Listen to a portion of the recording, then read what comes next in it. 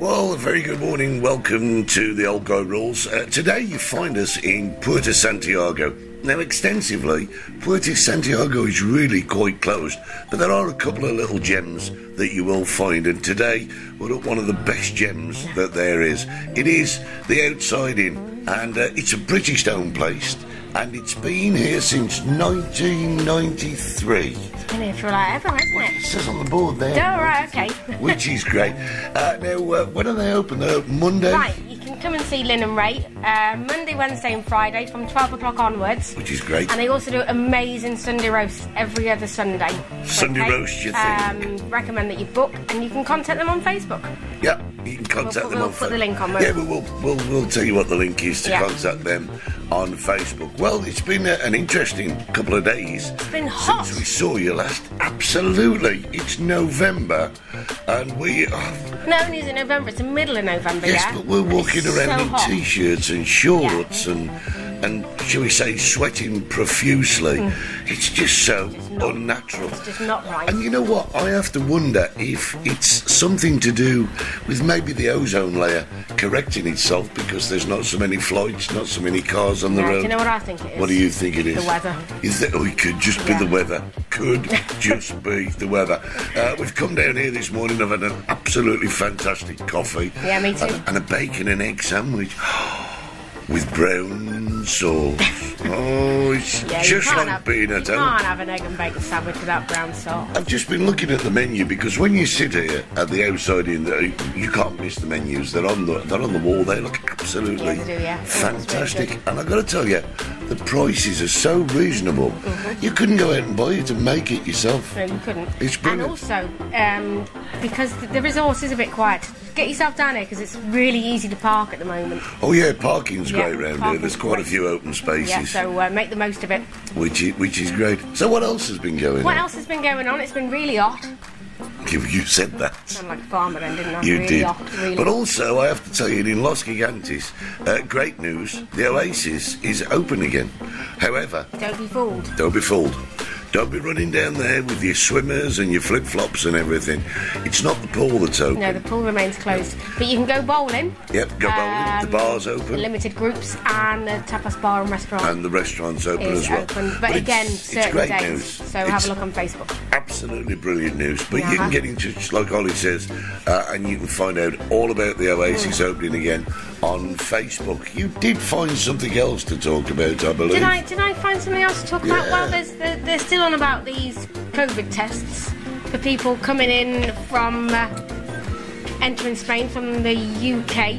But obviously, won't be required to self isolate. But from the 23rd of November, all passengers, including kids, travelling to Spanish airports and ports from risk countries will be required to present a negative PCR swab test. This is all well and good, but people have to pay for these. Yes. They're, they're not going to give them to Uh-huh.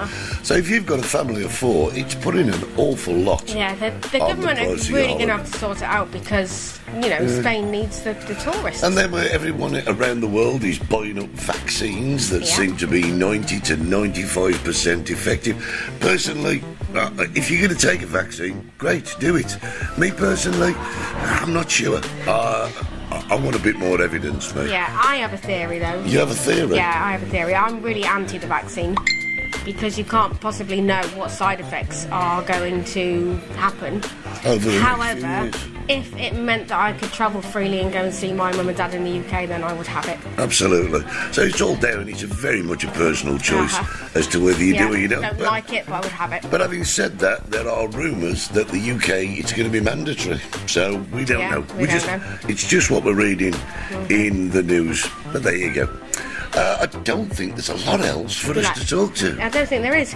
But we Um, have got some figures, I believe. Yeah, we've got some figures. We've done the Oasis. Hollie's got her office here. Well, it's a mobile phone, but all information in the world is Yeah, held on the mobile phone. Mobile phone lent against a coffee cup. It works. So the overall um, cases we've had now, this is going back to the beginning since lockdown happened in March. Yeah. So the overall cases that we've had are 19,000. This is in the entire of the Canary Yeah. Islands. Yeah.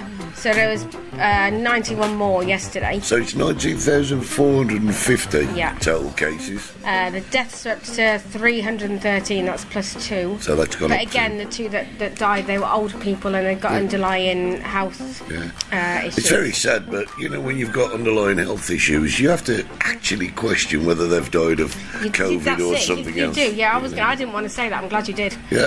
Um, so the people that have been cured and discharged for 14, that well, more or less 15,000, and th- which leaves uh, just over 4,000 active cases. But that's like I say on the whole of the Canary Islands. So when you take in the whole of the Canary Islands, the figures ah, they're not that bad. They're, it's it's not like the UK, but we and sit. particularly this area, there's yeah. hardly any. Oh yeah, absolutely. But we sit and we wait with bated breath to see what's happening with vaccines and uh, COVID detection tests, and I think that's the big one for me. That's the big one. If they could get a very successful detection kit and they use them on point of exit, then we Yeah. wouldn't be having COVID over Uh-huh. here and vice versa from different countries. Countries could close down and deal with it uh, in, in within their own environment. That's about it from us Yeah, today. that's it from us. Yeah. Whatever you're doing, have yourself uh, have yourselves a great time, and don't forget we're still using our hashtags. Hashtag be safe, Hashtag RideTheStorm. and don't forget to to like us, subscribe, set your And notifications. share us with all your friends. Yes, we think they'd both like it, but but we know you've got more than two. Guys, have a great day. I've been Eddie, Yeah, I've been Hollie. We've been at the Outside Inn. and you've been watching the Old Guy Rules. Bye. Bye.